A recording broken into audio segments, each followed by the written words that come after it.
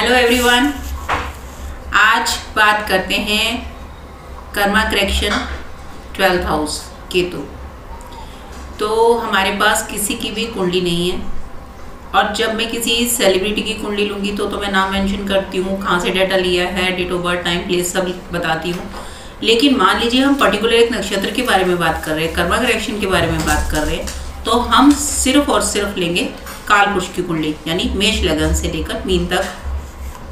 एक दो तीन चार पाँच छः सात आठ नौ दस ग्यारह बारह इसको बोलते हैं काल पुरुष की कुंडली मेष से मीन तक। अगर मीन में, यानी ट्वेल्थ हाउस में केतु है तो केतु क्या है? केतु मतलब काट दो यहाँ से, कट जाओ। अब ये क्या है? ट्वेल्थ हाउस क्या है? हमारा फ़िज़िकल रिलेशन यही बनता है, ट्वेल्थ हाउस। सुख भाव देखना है ना पत्नी का तो यहाँ से देखेंगे।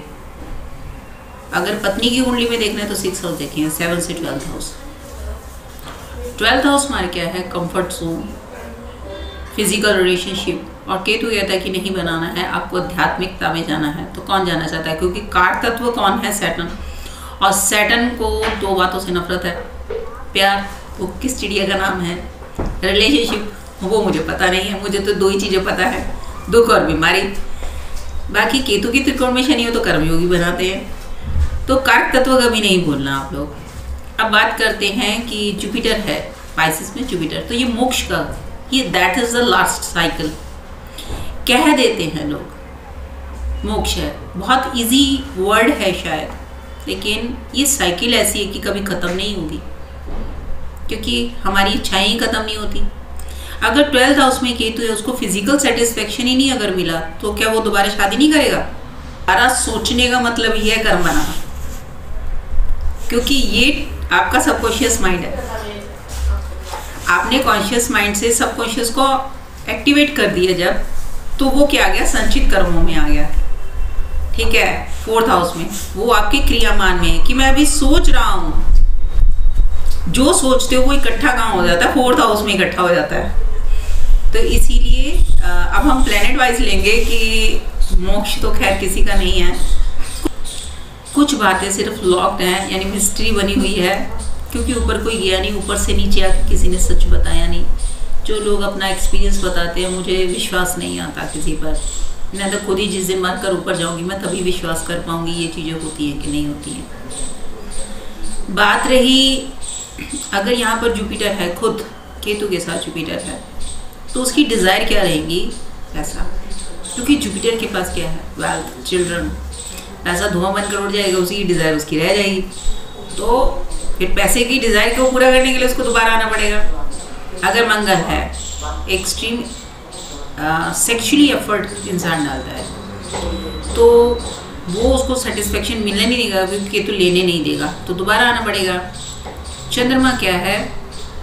सपने हैं, जितने सपने उसके मन में थॉट्स चले, जो विचार चले, उस हिसाब से उसने ज़िंदगी नहीं जिए तो भी उसको दोबारा पूरा करने के लिए आना पड़ेगा। फिर है मरकरी।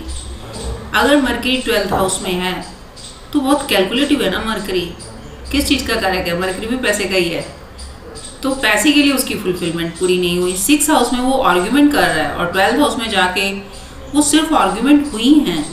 लेकिन फुलफिलमेंट तो नहीं हुई ना तो इसलिए उसको भी आना पड़ेगा कि दोबारा आओ, नीचे पढ़ो। और जिस मुकाम पर पहुँचना चाहते हो, पढ़कर लक्ष्मी को गेन करो। यानी पढ़कर लक्ष्मी आएगी। इसके बाद लेते हैं वीनस एक्सॉल्टेशन तो मूल त्रिकोण राशि चली जाएगी लिब्रा तो यहाँ वो रिलेशनशिप में बैलेंस नहीं है उसकी लाइफ में तो रिलेशनशिप से सेटिस्फेक्शन नहीं है. तो दोबारा रिलेशनशिप यानी शादी के लिए उसको दोबारा से फिर से आना पड़ेगा.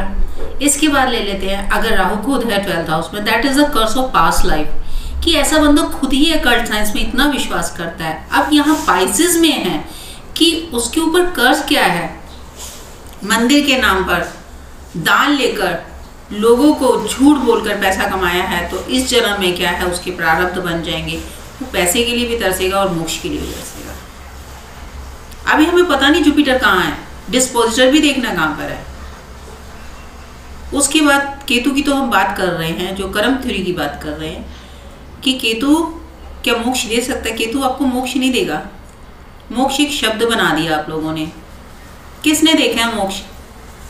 जिन्होंने जो चले गए उन्होंने देखा है जो रह रहे हैं उन्होंने देखा है सिर्फ़ किताबें। और किताबें हमेशा उलझाती हैं इंसान को। जितने श्लोक हैं अब तो हिंदी वर्जन आ गया आप पुराने देखोगे वो संस्कृत में लिखे उनको पहले आ, हिंदी में लाया गया। जितनी किताबें हैं उतनी उलझाएँगी। इसलिए सारे डायरेक्ट जाते हैं एस्ट्रोलॉजर से। इसने पढ़ा हुआ ना यही पढ़ के हमें बता दे। क्योंकि हम अपना एफर्ट नहीं डालना चाहते। हमको हमेशा क्या लगता है परोस कर चीज़ मिल जाए हमें। और हम करते ब्लाइंड फेथ मैं तो जो पढ़ती हूँ, कितना लिंकअप कर पाती हूँ। शायद एक परसेंट भी नहीं, लेकिन पढ़ रही हूँ। इसलिए नहीं कि कुछ अचीव करना है, या बहुत अपना नाम करना है, इसलिए कि लिखा क्या हुआ पता होना चाहिए। मान ने जितनी चीज़ें बताई हैं, उसमें एक परसेंट में भी कोई नहीं चलेगा। क्योंकि वो ग्रस्त आश्रम में रहकर हो नहीं सकता। अगर आप पाप पुण्य की बात कर रहे हो तो सबसे पहले क्या है, इतने उन्होंने उपाय जो नारद पुराण में बता रखे हैं, वो अब हो नहीं सकते। चीज़ें अब है ही नहीं तो आप उपाय क्या करोगे? इसीलिए रेमेडी थ्योरी तो बिल्कुल ही गलत है। रेमेडी का मतलब क्या है, आप इस चीज़ से बच रहे हो और दोबारा से ये करने की कोशिश कर रहे हो, क्योंकि आपकी आत्मा जानती कुछ गलत हुआ है। तो लोग आपको एक होप देते हैं कि रेमेडी कर लो फिर जैसे ही साठ साल के होंगे तो उनकी एक, देखिए एज फैक्ट है हमारे इंडिया में। कोई भी साठ, सत्तर साल का जब हो जाता है ना तो अपने आप स्पिरिचुअल बन जाता। अरे, हम तो भगवान को बहुत मानते हैं। क्यों? जो पहले साठ साल जो किया, वो शनि नोटिस नहीं करेंगे। वो पहले नोटिस करेंगे। क्योंकि वो एक्टिवेट कब होते हैं? सिक्सटी के बाद ही वो देते पनिशमेंट दूसरे पड़ा पर। इसलिए कोई मोक्ष की बात तो नहीं करे, मोक्ष कोई नहीं है, मैं सच बताऊँ। मैं करूँगी, मैं मोक्ष की बात करूँ। पहले हमें प्लेनेट नहीं पता। अगर प्लेनेट पता मान लीजिए वहाँ एक प्लेनेट रह गया, सूर्य। तो सूर्य यहाँ पर मारनाकार का तत्व है, क्योंकि उसकी पावर पोजीशन नहीं है। तो वो वापस से पावर पाने के लिए आएगा। उसके पास सत्ता नहीं है। वो सत्ता की लालच में दोबारा जन्म लेगा। यहाँ पर राहु केतु के एक्सेस हमें उलझा देते हैं। राहु कहता है, पाना है, केतु कहता है, जाने दो। ये लड़ाई, ये द्वंद्व युद्ध, इसीलिए हमारा जन्म साथ के साथ है। आपने ग्राफिक्स बोल सकते हैं आपको कि एक तरफ़ विष्णु भगवान का विशाल रूप है, एक तरफ़ से लोग जा रहे हैं, दूसरी तरफ़ से लोग आ रहे हैं। कि शरीर मर जाता है, आत्मा अमर रहती है और दोबारा से जन्म होता है।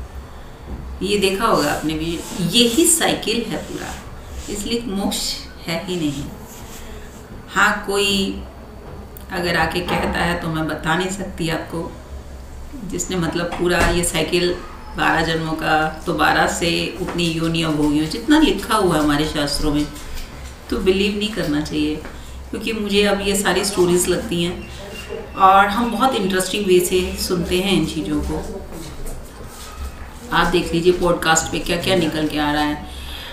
द्वापर युग है, त्रेता युग है, हनुमान जी ऐसे थे। क्या आज ये सुन रहे हैं? क्या आज ये लिखा गया है। दुनिया की समस्या ये है ही नहीं। उन लोगों की सिर्फ़, अगर आप सुनाते तो क्रियोसिटी है तो लोग सुनते हैं। लेकिन समस्या ये है ही नहीं। समस्या, मैंने वही जो तीन बताई हैं। जैसे जैसे आता जाता है, अब सबसे पहली समस्या तो वही है, पैसा। दूसरा क्या है गवर्नमेंट जॉब तीसरा, अब जो सबसे ज़्यादा केस आ रहे हैं, वो आ रहे हैं डाइवोर्स की हो रहा है आई के दुनिया को इन बातों में क्रियोसिटी ज़रूर हो सकती है, लेकिन उनको आंसर नहीं मिल रहा।